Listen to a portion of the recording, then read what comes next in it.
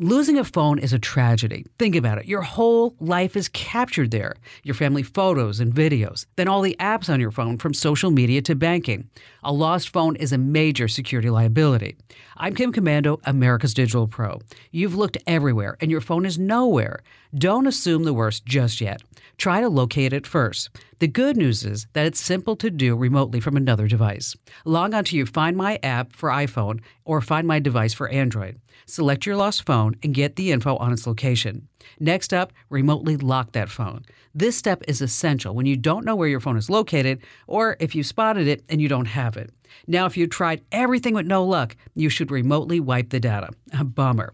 From your Find My app, select your iPhone and click Erase this device. From another Android device, open Find My device and when prompted, select Enable and Erase.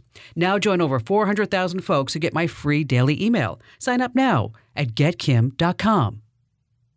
Join over 400,000 folks that get my free newsletters. You're going to love them. Komando.com slash subscribe.